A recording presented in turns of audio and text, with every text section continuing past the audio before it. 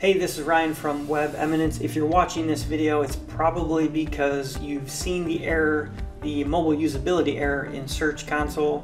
Uh, either clickable elements are too close together or content wider than the screen. Uh, if you have that issue and you're searching online, probably landed on this video. Um, I've had that issue a lot over the past couple years and it's kind of come up now and again and I've never really been able to figure out what the issue was. Uh, but just recently, I had it come up from three or four different clients all in the same week. So it kind of got my attention, made me look a little bit closer to maybe find what might be in common about those websites. So I'm going to show you my theory, and I'm hoping to get some feedback from from my viewers here to see if, if it is the case.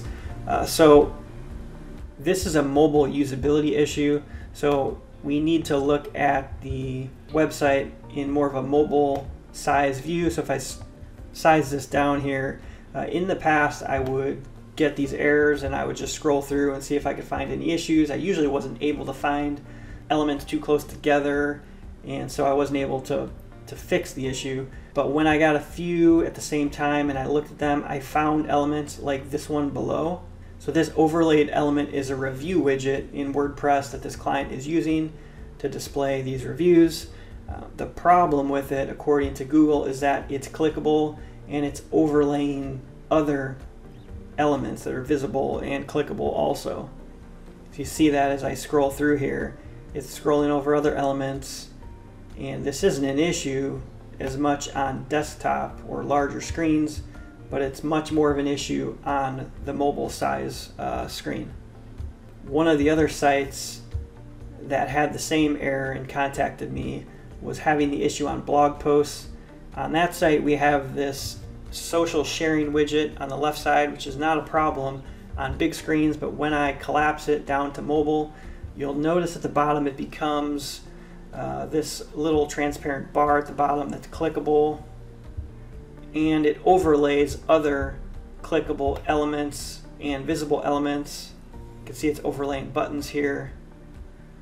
So my theory is that this is what's causing this error in Google Search Console where it says clickable elements are too close together. I'm not sure if this involves the content being wider than the screen. I haven't been able to figure out that one, but I have a feeling they're the same or related.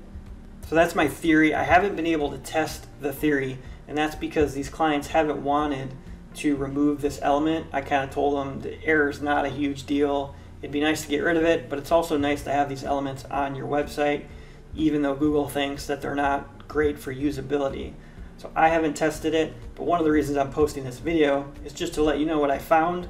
But if other people find this and they want to test it by removing these elements from their site or at least from their mobile uh, site, they can then go into Search Console and if they have pages that are affected, you should be able to click Validate Fix in Google Search Console or you can just wait to see if the error goes away.